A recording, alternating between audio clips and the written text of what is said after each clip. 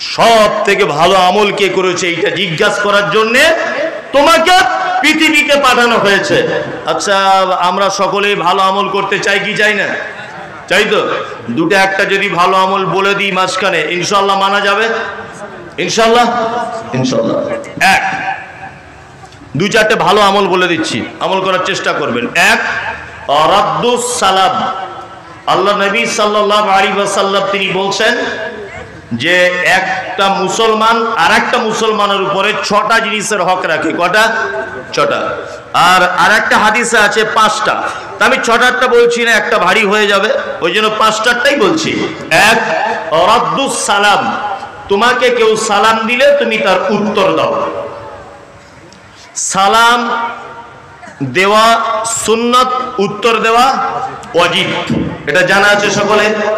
এখন সালাম দিলে নেকি কতটা?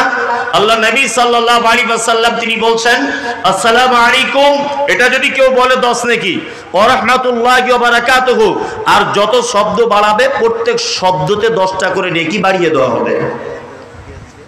এটা একটা জিনিস জানা হয়ে গেল। আপনার ছেলে স্কুলে পড়ে, আমার কোনো আপত্তি নেই। ইংলিশ মিডিয়ামে পড়ে। আপনার ছেলে ইংলিশ মিডিয়ামে থেকে ইংরেজি ভালো জানে। Good morning good evening good afternoon খুব ভালো বলতে পারে। আপনার ছেলে সারা দিনে যদি একশো বার good morning good morning good morning good morning যদি করেই যদি যায় আচ্ছা বলুন তো, দশ পয়সা নেকি হবে বলে মনে হয়? হবে না। কিন্তু আপনার বেটা যদি আপনার সঙ্গে দেখা হবার বা আপনার কোন আত্মীয়র সঙ্গে দেখা হবার পরে যদি বলে, আসসালাম আলাইকুম তাহলে নেকি হবে কি হবে না? হবে। ইসলাম কত সুন্দর। আপনাকে একটা জিনিস বোঝায় সালাম এমন একটা শব্দ। হজরত মোহাম্মদ সাল্লাম তো মহাবৈজ্ঞানিক ছিলেন। মানে শব্দ একটা এমনভাবে তিনি চয়ন করেছেন যে আপনার দেমাকে যদি ঢোকে আপনি অবাক হয়ে যাবেন এই কথাটা শুনলে। গুড মর্নিং এর বাংলা মানে শুভ সকাল, তাই তো? এই লোকের আব্বা মারা গেছে, ধরে নেন বোঝানোর জন্য। এ আমার খুব ভালো বন্ধু। রাতের বেলায় আব্বা মারা গেছে, ভোরবেলা। তাই সকালবেলা বাজারের সঙ্গে দেখা হলো, তা আমি ওকে বললাম গুড মর্নিং যদি বলি, তাহলে উনি কি ভাববেন? কোষে চর, তাই না? যে বিয়াদব কোথাকারে, আমার আব্বা মারা গেল, তুই আজকে গুড মর্নিং গুড মর্নিং করছিস। এটা বলবে কি বলবে না? বলবে। তাহলে ওর জন্য এটা শুভ সকাল হলো? হলো না তো? এই দেখুন হজরত মোহাম্মদ সাল্লামের কি শব্দ? আল্লাহ নবী সাল্লাম বলেছেন, তুমি তোমার মুসলিম ভাইকে দেখলে বলো, আসসালাম আলাইকুম। ওর আব্বা মারা যাক আর মা মারা যাক। ও রাগ করবে না, মনের দিক দিয়ে শান্তি পাবে। কোনটা? শান্তি পাবে। এর নাম ইসলাম। এর নাম ইসলাম। সালাম দেবেন। এক অপরকে দেখা হলে সালাম দেবেন। কতটা ডিফারেন্স হলে দেবেন? না, একটা দেওয়ালের এদিক ওদিক হয়ে গেলে আবার বলবেন, আসসালাম আলাইকুম রহমতুল্লাহ। চলুন, এবারে জেনে নেওয়া যাক, ইসলামের ভিতরে যত মানুষ আছে, যত মানুষ তাহাজ্জত করনেওয়ালা রোজা রাখনেওয়ালা, ইমাম সাহেব, সেক্রেটারি, কেসিয়ার, মুয়াজ্জেন, মোতাওয়াল্লি, দানি যত রকমের কোয়ালিটির লোক আছে, আল্লাহর নবী সাল্লামকে জিজ্ঞাসা করা হচ্ছে, আল্লাহর নবী পৃথিবীতে সব থেকে উত্তম লোককে ইসলামের ভিতরে সব থেকে উত্তম কাজ আর উত্তম ব্যক্তিকে বিশ্বনবী তিনি বললেন ওই লোক হচ্ছে আল্লাহ নিকটে সব থেকে প্রিয় বান্দা। কে সে? নবীজি বলেছেন যে পরিচিত, অপরিচিত মানুষকে দেখলে বলে, আসসালাম আলাইকুম। এই লোকটা সব থেকে আল্লাহর নিকটে প্রিয়। ইনশাল্লাহ আমলটা করব। ইনশাল্লাহ বলুন। আজকে জলসা থেকে এখান থেকে বাড়ি যাওয়ার সময় এক অপরকে সালাম দিয়ে যাব ইনশাল্লাহ আমলটা করবেন। নাম্বার দুই ওয়াদাতুল মারিজ। নবীজি বলেছেন, পৃথিবীতে যত ভালো কাজ আছে, তার মধ্যে একটা ভালো কাজ, অসুস্থ মানুষকে দেখতে যাওয়া। পাড়ায় কোনো একটা লোক অসুখে পড়ে আছে, তাকে দেখতে চলে যাবেন দেখার পদ্ধতি কি আর নেকি কতটা, এটা বলে দিই। প্রথমে এই লোক অসুস্থ, যাবেন বাড়িতে, মাথায় হাত লাগাবেন। ঠিক এইভাবে মাথায় হাত বোলাবেন আর বলবেন, লা বাসা তাবরুন ইনশাআল্লাহ। দোয়াটা একবার বলুন লা বাসা তাহরুন ইনশাআল্লাহ। আপনি ভাই টেনশন করিয়েন না, আল্লাহ আপনাকে ভালো করে দিবে। মামু টেনশন করো না। খালু টেনশন করো না। আল্লাহ তোমাকে উত্তম করে দিবে। আল্লাহ তোমাকে ভালো করে দিবে। এই কথাটা আল্লাহর নাবি বলছেন, কেউ যদি সন্ধ্যাবেলা গিয়ে কোনো রুগীকে যদি বলে তারপরের দিন সূর্য ওঠার আগ পর্যন্ত আসমানের ফেরেস্তারা এই দোয়া করে যে আল্লাহ রুগীকে তো সুস্থ করবে করবে, যে দেখতে এসেছে তাকে আগে কল্যাণ দান করো। তাহলে যাওয়াটা লাভ হলো না লস হলো? লাভ হলো। আর যদি কেউ সকালবেলা যায়, তাহলে সন্ধ্যাতে সূর্য ডুবে যাওয়ার আগ পর্যন্ত আসমানের ফেরেস্তারা এই দোয়া করে। আমাদের সমাজে একটা প্রথা আছে, এটা বলে রাখা খুব ভালো হবে। এগুলো খুব বাস্তবমুখী কথা, এগুলো না বললে আমার মন ঠিক তৃপ্তি হয় না। সেটা হচ্ছে এই। দেখবেন কিছু গ্রামে ধনী মানুষ আছে, দায়িত্ব পর্যায়ের মানুষ, যারা দায়িত্বশীল। এরকম কিছু মানুষ আজকে দুই বছর দুই মাস ধরে অসুস্থ। দেখবেন গ্রামের সিংহভাগ মানুষ ওই লোকটাকে দেখতে যাচ্ছে। আপেল, আঙ্গুর, বেদানা নিয়ে। কারণ ধনী লোক, মেম্বার। যদি একটু দেখতে যাই ইন্দিরাবাসনে একটা ঘর ঢুকিয়ে দিতে পারে আমার নামে। এরকম একটা লোভ লালসা আছে। ওর বাড়িতে দশটা ফ্রিজ, বিশাল দামি লোক, পাঁচটা ফ্রিজ। পাঁচটা ফ্রিজে মাছ, মাংস আপেল, আঙ্গুর, বেদানা রাখার জায়গা নেই। তবুও নিয়ে যাচ্ছে আর বলছে, মামু, আরও খাও। ধনী লোক গ্রামের সম্ভ্রান্ত পরিবারের ছেলেও এই কারণে। আচ্ছা আপনাদের গ্রামে কোনো দিন দেখেছেন যে কোনো হাই স্কুলের হেডমাস্টার বা কোনো হেড মাওলানা, আমি আমাদেরটা বলছি হেডমাস্টার হেড মাওলানা, একজন উকিল আছে, একজন ব্যারিস্টার আছেন, এইরকম হাই কোয়ালিটির কিছু শিক্ষিত মানুষেরা কেউ মারা গেলে কারুর মায়ের বা বাপের জঙ্গলে কবর খুঁড়তে যায়, দেখেছেন? হাই স্কুল হেডমাস্টার যায়? যায় না। যদি যায়, ইল্লা মাশাল্লাহ সাধারণ যায়। এবং যারা যায়, তারা কে গরিব মানুষ। একেবারে দুর্বল, নিম্ন কোয়ালিটির লোক। রিক্সা চালায়। কবর খুঁড়িয়ে এসে কথা বলে যে, তোমার মায়ের কবর একদম ফিনিশিং ভাই। দাও আমাদের রোজের দাম, মজুরিটা দিয়ে দাও। বলে? না। বরঞ্চ দিতে গেলে লজ্জা বোধ করে। জস্তাকুল্লাহ টাকা দিও না পল্টু ভাই। তোমার মা মারা গেছে, আমার মায়ের মতোই। আমরা জানি বলে করে দিলাম। তাই তো? হ্যাঁ। আপনার বেটির বিয়ে লেগেছে, সামাজিক অবস্থাটা বলছি। বেটির বিয়ে লেগেছে, আপনি সব শিক্ষিত মানুষদের বাড়িতে আগে আগে চিঠি করে দিলেন। সাতাশ তারিখে নভেম্বর আমার বেটির বিয়ে, অবশ্যই আপনারা আসবেন। আচ্ছা জীবনে কোনোদিন এটা মনে হয় যে আমার আব্বার যে লোকটা কবর খুনলো যে লোকটা আমার মায়ের কবর খুঁড়েছিল, যে লোকটা আমার দাদুর কবর খুঁড়েছিল, যে লোকটা আমার দাদির কবর খিল, খুঁড়েছিল, সর্বপ্রথম ওই লোকটাকে গিয়ে বিয়ের কার্ডটা দিয়ে আসি। মনে থাকে? থাকে না? থাকে না। ওই রকম একটা একদম লো কোয়ালিটির লোক। ওই গ্রামের দক্ষিণ পাড়াতে বাড়ি আজকে তিন মাস বিচন সজ্জাতে। তিন মাস বিচনে পড়ে আছে। কেউ তাকে দেখতে যায় না, কারণ ও দুর্বল মানুষ বলে। আমি মমতাজুল ইসলাম বলছি, আপনি তাহাজ্জত নামাজ পড়ে দশ বছর যত নেকি পেয়েছেন? আপনি যদি এই লোকটাকে দেখতে গিয়ে ধনী মানুষ যদি হন, পকেট থেকে বিশ পঞ্চাশ টাকা যদি বার করে লোকটাকে দিয়ে বলতেন, ভাই, তুমি আমাদের কবর খুঁড়তে গ্রামের একজন প্রবীণ মানুষ। তুমি এক যে গরিব মানুষ বলে তোমায় কেউ আসে না দেখতে। আমি এসেছি, আমি ধনী মানুষ, এই পাঁচ হাজার টাকা তোমাকে দিয়ে গেলাম, ভাই। তুমি বড় ডাক্তার দেখাও, আল্লাহ তোমাকে ভালো করে দিক। আমি তো বলব, দশ বছর তাহাজ্জত পড়ে যে নাকি পেয়েছেন, তার থেকে বেশি নাকি হবে ইনশাল্লাহ আপনি কেন ভুল করছেন? কোথায় আপনি তাহাজ্জত পড়ে জান্নাত যেতে চাইছেন? বাড়ির পাশের বাড়ির লোক অসুস্থ পড়ে আছে তিন মাস। আপনি শুধু ঘন ঘন তাহাজ্জত নামাজ পড়ছেন চিল্লিয়ে আর লোককে দেখাচ্ছেন? কোথায় আপনি হজ করতে যেতে চাইছেন পাঁচ লাখ টাকা খরচা করে? অবশ্যই! আপনি যান হজ করতে, হজ ফরজ হয়েছে, যান। কিন্তু আগে এইগুলো দেখুন। এইখানে তো পড়ে আছে নাকি? এই ব্যাপারগুলো বলুন তো, কেউ তুলে ধরে? কেউ তুলে ধরে না। গ্রামে কোনো উদ্যোগ আছে এরকম? গ্রামে এরকম কোনো কমিটি আছে? যে জাকাতের একটা গ্রামে ফান্ড করি, দুস্থ মানুষদের চিকিৎসার জন্য আমাদের গ্রাম্য ব্যাপার? আছে? নাই। অথচ কাওয়ামারি গ্রামের একটা লোকের বেটির বিয়ে, লজ্জাতে গ্রামের লোকের কাছে চাঁদা তুলতে যেতে পারেনি। ওই জঙ্গিপুরের মসজিদে নামাজের পরে বলছে, আমার বেটির বিয়ে, কিছু চাঁদা দাও। কাওয়ামারির কথা বলছি না, এগুলো হচ্ছে কি হচ্ছে না? হচ্ছে। কেন গ্রাম থেকে এই দায়িত্বগুলো নেওয়া যায় না? ইয়াং জেনারেশনগুলো কি করে? কি আপনি প্রতি বছরে জলসা দিচ্ছেন? আগে এই সমস্ত জনকল্যাণমূলক কাজগুলো করুন। দিলওয়ার হোসেন সাইদি বাংলাদেশের প্রখ্যাত তফসির কারক, উনি একটা কথা বারবার বলতেন হাবি জাবি মরণে কোনো লাভ নেই, মরার আগে কিছু করে তবে মরো। হাবি জাবি মরে লাভ নেই। কিছু এমন কিছু করুন সমাজের মানুষের জন্য, যে মানুষ আপনি মারা যাবার পর আপনার কবরের সামনে গিয়ে যেন বলে, সত্যি এই লোকটা সমাজে এই কাজের উদ্যোগ গ্রহণ করেছিল। আপনি কোথায় জান্নাত খুঁজতে চাইছেন? এটা বলুন তো আপনি। কোথায় আপনি জান্নাত খুঁজতে চাইছেন? অসুস্থ মানুষকে দেখতে যাবেন, তার জন্য দোয়া করবেন। যারা পাঁচক্ত সলাত আদায় করেন, ফজরের নামাজ পড়ে এদিক ওদিকে কেন ঘোরাফেরা করেন?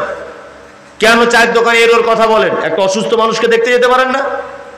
কিছু দিতে হবে না, মাথায় হাত বুলিয়ে এই দুয়াটা অন্তত বলে আসবেন।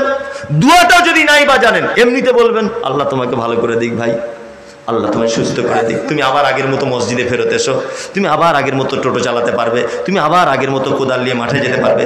এই দুয়াটা ইনশাল্লাহ আমলটা করব। ইনশাল্লাহ অন্তত বলুন, মনটা ভালো হোক? ইনশাল্লাহ সবাই করবে।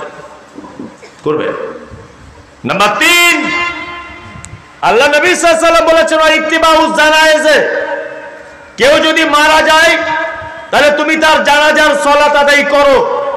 হাদিস এসেছে, জানাজার যদি শুধু কেউ নামাজটা পড়ে, এক কেরাত নেকি হবে? এক কেরাত মানে হচ্ছে একটা অহুত পাহাড়ের সমান ধরে নিতে পারেন, নেকি হবে। আর যদি কেউ মাটিটাও দেয়, তাহলে আল্লাহ নবী বলেছেন, দুই কেরাত নেকি নিয়ে সে বাড়িতে চলে আসে। পড়তে যাবেন। নাম্বার চার দাওয়াতে। কেউ যদি দাওয়াত দেয়, অবশ্যই গ্রহণ করবেন ইনশাল্লাহ এটা তো ইনশাল্লাহ বলতে হবে, গরুর গোসের ব্যাপার আছে। ইনশাল্লাহ না বললে হবে? তাই না? গোস্তের ব্যাপার থাকলে মুসলমানকে ধরে রাখা যাবে না। ওই কিছু কিছু প্যান্ডেল আমি দেখি তো মাদ্রাসার জলসাগুলোতে, মনে হয় গেট ভেঙে ফেলছে, মনে হয় জীবনে খায় নাই। আর গরুর গোসর চোখে দেখে নাই বাবার জন্যে। একটা ডিসিপ্লিন তো থাকে, একটা ভদ্রতা থাকে তো, একটা সিস্টেম থাকে তো। একদিন নাই বা খেলেন, কি অসুবিধা হলো? এক ঘণ্টা পরেই খেলেন, কি অসুবিধা হলো? ডেলিগেট গুলোতে আপনাদের এখানে দেখিনি, অন্যান্য জায়গাতে। মানে প্যান্ডেল ভেঙে ফেলছিল। কি আশ্চর্য ব্যাপার। দাওয়াত অবশ্যই গ্রহণ করতে হবে, তবে এই ব্যাপারে দুটো একটা কথা বলে দেখছি। বৈধ দাওয়াত হলে তবে অবৈধ দাওয়াত গ্রহণ করবেন না। যদি বলছেন বৈধ আর অবৈধের ব্যাপারটা আবার কি?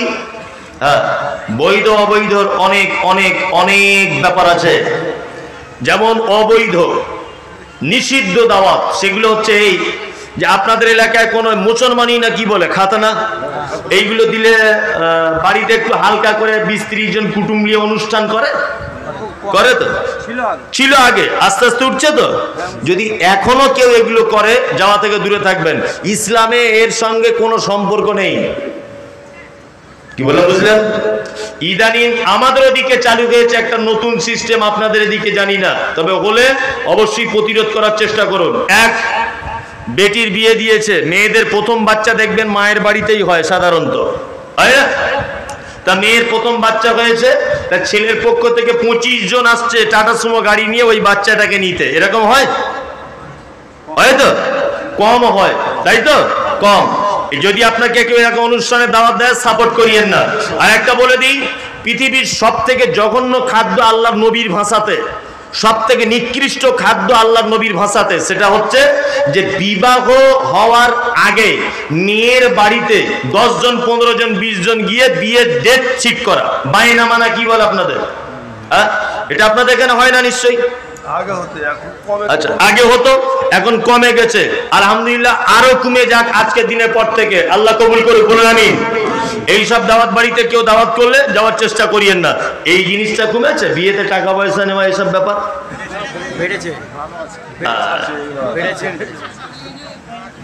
আলহামদুলিল্লাহ। এইসবগুলো আছে তাহলে আমি বাংলা হয়তো আমাদের ওদিকে আছে। আপনাদের দিকেও মাশাল্লাহ যাই হোক এটা একটা ব্যাপার। তবে এখন সমস্যা দুই পক্ষেরই। এক পক্ষের সমস্যা নয়। কেউ কিছু না নিলে আবার মেয়ের বাপ বলছে মনে হয় ছেলের কোনো ব্যাপার আছে। তাছাড়া কই কিছু চাইলো না? বলে না? হ্যাঁ এটাও একটা সমস্যা হয়েছে এখন ইদানিং। অনেক জায়গাতে নিচ্ছে না। হ্যাঁ, অনেক জায়গাতে নিচ্ছে আলহামদুলিল্লাহ অনেক মানুষই নিচ্ছে না। হ্যাঁ, ওটা তো আলাদা ব্যাপার কিন্তু যারা নিচ্ছেন এখানে তো ওই ফেরেস্তা নেই যে কেউ নেয়নি। হ্যাঁ এখানে কি সবাই ফেরেস্তা আছেন? কই দেখুন তো বলুন তো দেখি যে এক টাকাও লিইনি। এটা কোরআনের মজলিস আপনি মিছে মিছে হাত তুলতে পারবেন না। ওই একজনে এইরকম করে তুলছে ওই যে সাদা গেঞ্জিওয়ালা। কি ব্যাপার? জোরে তুলুন দেখি কে গেছেন তুলুন। তার মানে হাত যারা তুলতে পারছেন না নিশ্চয়ই গোলমাল। গোলমাল? গোলমাল। ভেজাল আছে। তবে অনেক মানুষ হয়তো হাত তুলছে না কিন্তু তারপরেও নেয়নি। এরকম লোকও আছে। আলহামদুলিল্লাহ। তবে নেয়নি এরকম লোক খুব কম। নিয়েছে এরকম লোক বর্তমানে বেশি। বেশি না? হ্যাঁ। নিয়েছে বর্তমানে বেশি। আবার নেওয়ার পদ্ধতি কি? হাজি সাহেব মানুষ মৌলবী সাহেব মানুষ, এই বড় বড় দাড়ি, বড় পাঞ্জাবি। বেটির বাপ ওকে জিজ্ঞাসা করছে, বিহাই সাহেব, কিছু নেওয়া দেওয়ার ব্যাপার ট্যাপার আছে? হাজি সাহেব বলছে অস্তাকুল্লাহ এইসব কথা তুমি আমাকে বলছো? চি চি চি চি, আমি হাজি সাহেব মানুষ। এসব ব্যাপার আমি জানি না, যা জানে আমার বড় জামাই জানে হচ্ছে পাক্কা শয়তান। কি বলে বুঝলেন না? যারা বলছে, যা জানে, বড় জামাই জানে, পাক্কা শয়তান। ছেলে তুমি মানুষ করেছ না জামাই করেছে? হ্যাঁ? বদমাইশির জায়গা পাও না? ছেলে কে জন্ম দিয়েছে?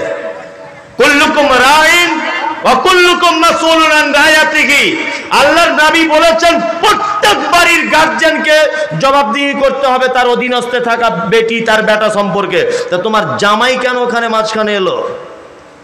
এরকম জামাই যদি কেউ থেকে থাকেন, আর শ্বশুর যদি আপনাকে এই দায়িত্ব দেয় তাহলে অবশ্যই শ্বশুরের মুখের উপরে বলে দিয়েন যে এই রকম নেমো খারামি কাজ আমি নেই। তবে আপনি জামাই হিসাবে বলতে পারবেন না, কারণ আপনিও তো লিয়ে রেখেছেন। আপনি বলতে পারবেন না।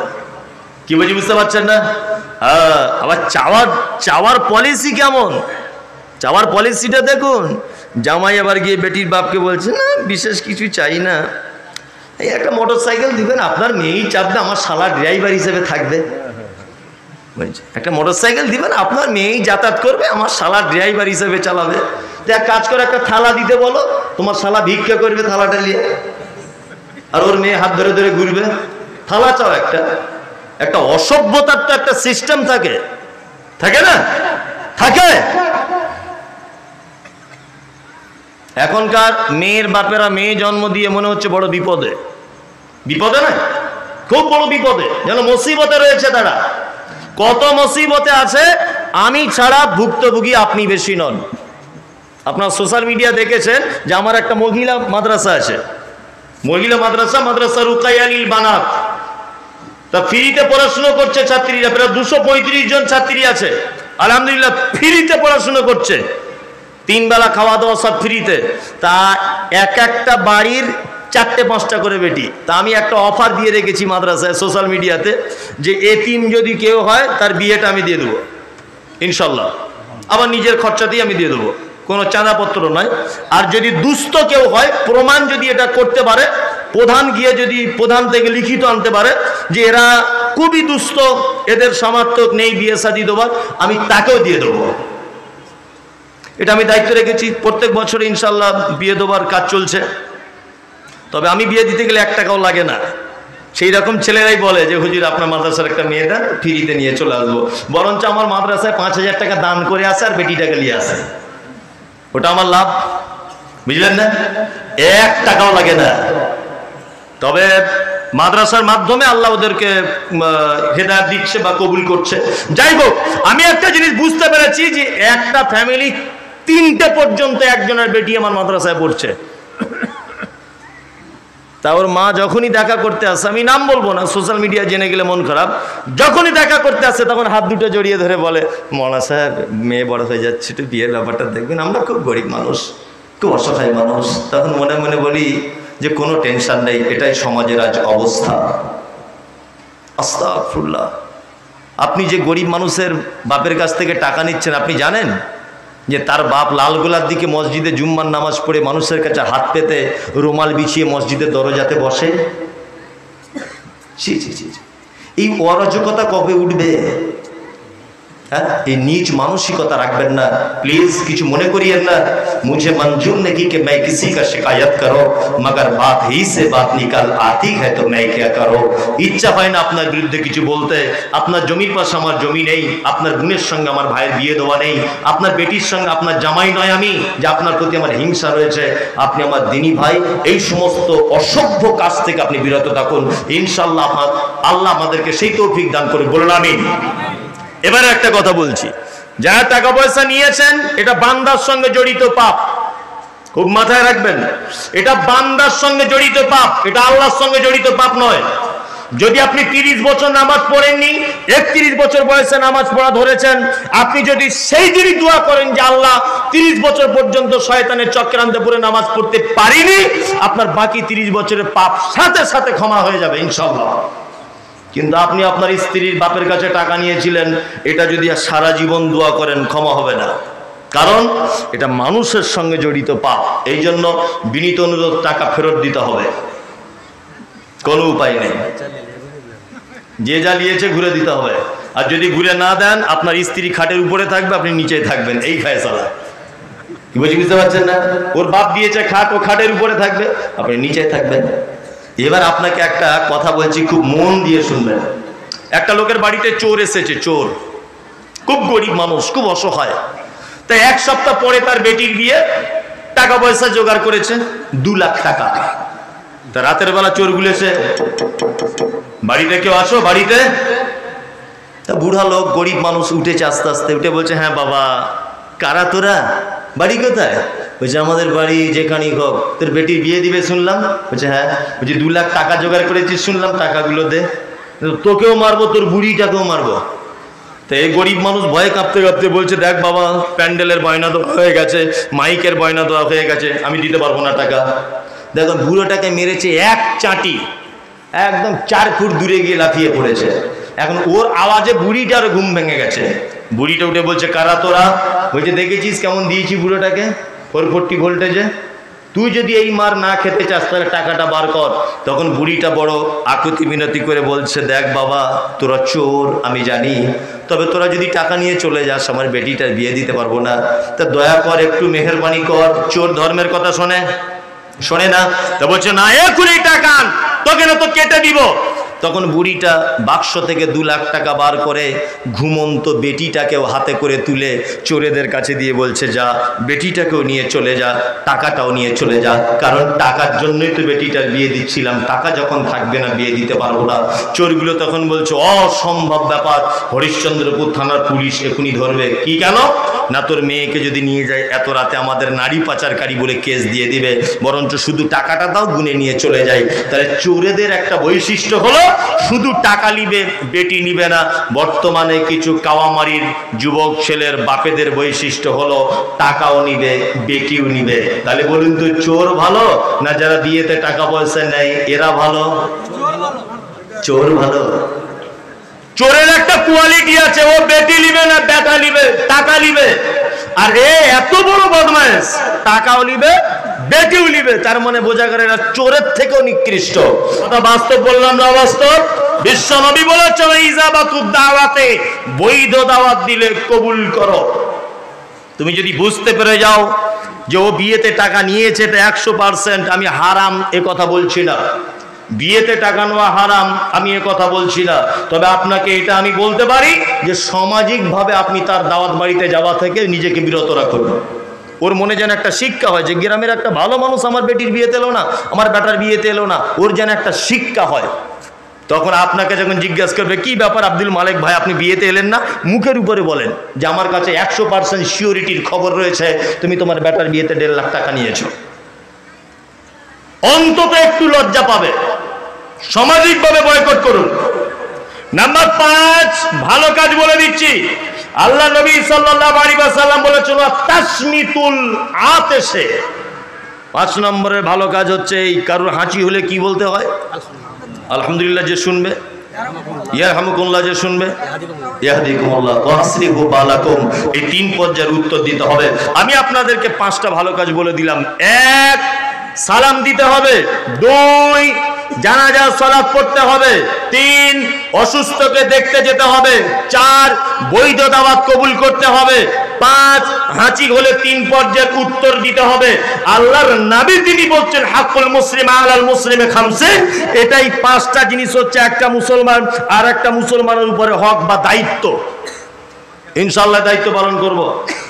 আর একটা পৃথিবীর সব থেকে ভালো কাজ বলে দিই। আল্লাহ তালা আমাদেরকে জিজ্ঞাসা করবেন, পৃথিবীতে সব থেকে ভালো কাজ তোমরা কে করে এসেছ? আর একটা দামি ভালো কাজ বলে দেবো? হ্যাঁ? বলে দিই। এইবার আপনাদের কাছে বিনীত অনুরোধ, যারা দাঁড়িয়ে আছেন, বসুন একটু। এই কাজটার সময় দাঁড়ানো যাবে না, এক মিনিটও। একটু মেহরবানি করুন, একটু মেহরবানি করুন। এই এই কাজটা অন্তত পক্ষে আপনি দাঁড়াতে পারবেন না। বসুন। সবাই নিজে নিজে ছেড়ে ছেড়ে যেমন একদম ভালো করে বসে যান। ইনশাল্লাহ এবং খুব অ্যাক্টিভ থাকুন আপনি। আপনি আমার দিকে মুখ করে খুব অ্যাক্টিভ থাকবেন। কোনো দিকে লড়াচড়া করিয়েন না। আপনাকে আমি একটা মারাত্মক ভালো কাজ বলতে চলেছি। কত মারাত্মক কাজ? এই দেখুন, আপনাকে একটা কথা বলে রাখছি, সেটা হচ্ছে এই যে এটা কবরস্থান উন্নতি কল্পে জলসা। যদি বলছেন টাকা তোলার ধান্দা করছেন, একদম নয়। ওই সব লাইনে আমি নেই। আমি আপনাকে একটা ভালো কাজ বলব, তারপরে যদি আপনার ইচ্ছা হয় যে কিছু দেব, আপনি দিতে পারেন।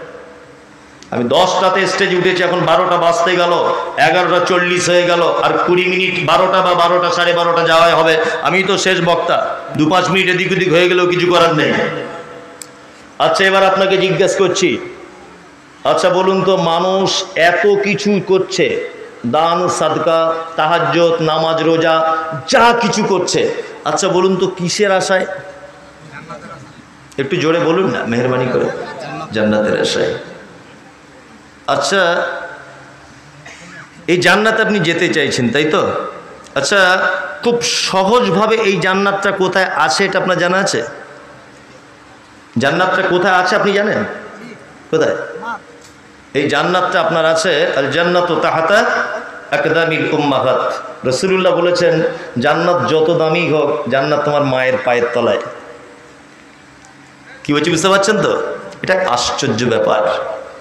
আর একটা কথা বলে রাখছি, সেটা হচ্ছে এই যে পিতা মাতার পায়ের তলায় জান্নাত, এ হাদিস আমরা ছোট থেকে শুনছি হাদিস ঠিক নয়। আমি মমতাজুল ইসলাম বলছি পিতা মাতার পায়ের তলায় জান্নাত, এ হাদিস ঠিক নয়। মায়ের পায়ের তলায় জান্নাত, এ হাদিস চূড়ান্ত ঠিক।